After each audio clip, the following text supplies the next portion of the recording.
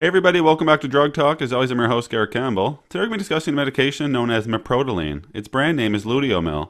Now before I talk about the medication itself, just keep in mind that this channel is for information purposes only and not to be used as a source for recommendations for your personal health care.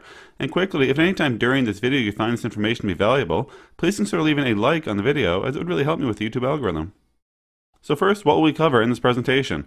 We'll start by talking about how maprotiline works. We'll then discuss indications or reasons we would prescribe this medication to a patient, followed by contraindications or reasons we would not be able to prescribe maprotiline. We'll then discuss examples of dosing, and then stick around to the end where we'll talk about side effects with percentages. So how does maprotiline work? Well, maprotiline is a tetracyclic antidepressant that is structurally related to the tricyclic antidepressants. It selectively inhibits norepinephrine reuptake into the presynaptic neuron. In terms of indications or reasons we would prescribe this medication to a patient, we often see it used in mixed anxiety and depression disorder. It may be used to treat the depressed phase of bipolar disorder, as well as dysthymia, or persistent mild depression. With respect to contraindications or reasons we would not be able to prescribe maprotiline, we wouldn't give this medication to a patient who had a hypersensitivity to maprotiline or any other component of the formulation.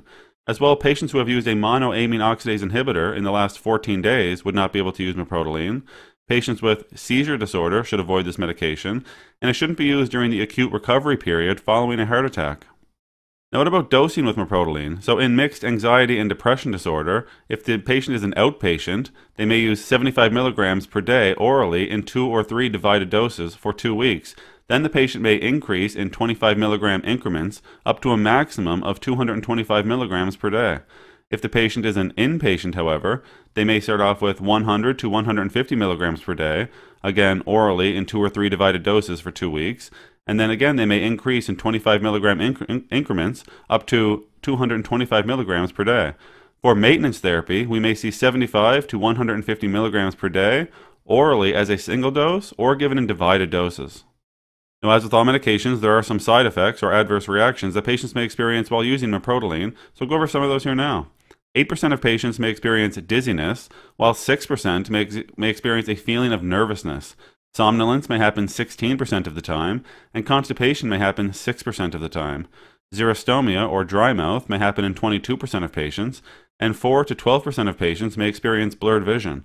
Now, some more rare but serious side effects would be a myocardial infarction or heart attack, bone marrow depression, or suicidal thoughts. That's all we're going to talk about today with maprotiline or ludiomil. As always, I'm very thankful you took the time to come by and watch one of my videos.